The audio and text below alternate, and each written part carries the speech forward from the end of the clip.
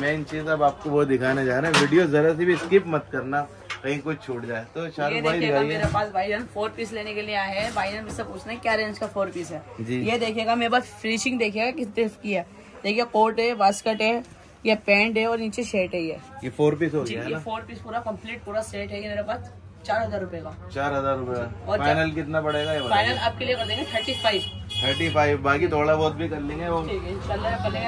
यानी पैंतीस सौ रुपये में आपको मिलेगा देखिए भाई कंपनी का कपड़ा है ये। सीआर हमको का कपड़ा बहुत बढ़िया।